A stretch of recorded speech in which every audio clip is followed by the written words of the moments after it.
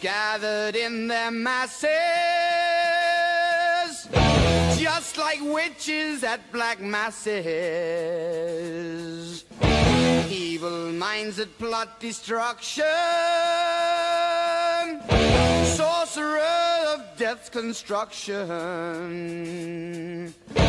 In the fields of bodies burning.